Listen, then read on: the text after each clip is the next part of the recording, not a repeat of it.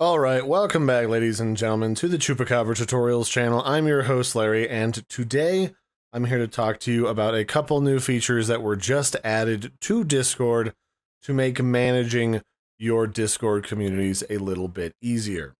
So if you go to your Discord server settings, the one that you have as a community, you will notice that there are two new options at the bottom of your server like drop down menu here. One is security actions and the other one is a button to report a raid. The first button is your security actions. So what does that do? So when I click on this, this is a new beta feature.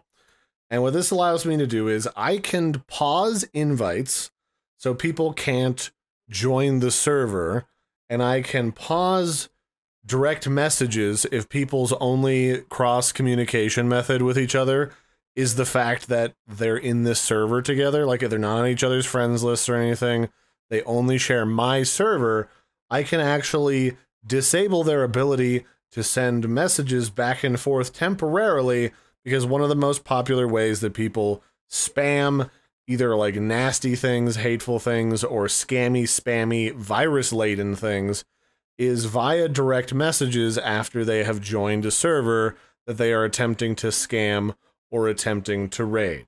And I can then set yes or no to either of these options. And then I can even do it for one hour or up to 24 hours at a time. Now, let's say I want to do this for an hour right now. I'll just hit save, and then that will put the server into lockdown mode, and then a little banner has appeared at the top of my screen. Now, if you've done this and accidentally, you can always disable this right now and then like, you know, click save and that will remove the warning banner at the top of the screen and then asks me why I was doing a, a lockdown on the server. And you can select people were spamming each other with direct messages there was a spam of someone mentioning everybody, and I had to lock that down and then ban them. Somebody was doing channel spam, no harm done, but suspicious new members, changing the server and other channel settings, or other. Uh, I'm going to say other. Um, I'm creating a tutorial on how this new feature works to inform users who are not familiar.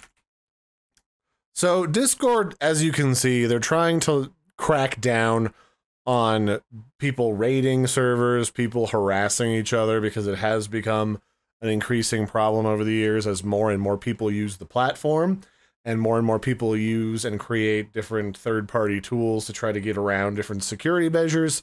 So Discord's stepping up their game. So the other thing you've got is the ability to report a raid on your server. So you can say there's people raiding the server, and then you can say, oh, they were spamming the channels or whatever, and you can submit that information. And then Discord will look at it and say, like, oh, these are a bunch of accounts lately that have been used in a bunch of raids. We'll just ban the lot of them and not worry about it. So you can fill this out and submit a detailed explanation of what goes on. And then presumably Discord will look at it and take action against people who have been raiding a bunch of servers and being a problem uh, across a large swath of the community. So that's the new server actions that you can take for security actions and reporting a raid. I hope you found this helpful. I've been your host, Larry. Don't forget to like and subscribe, and I will catch you next time. Bye, everybody, and have a good one.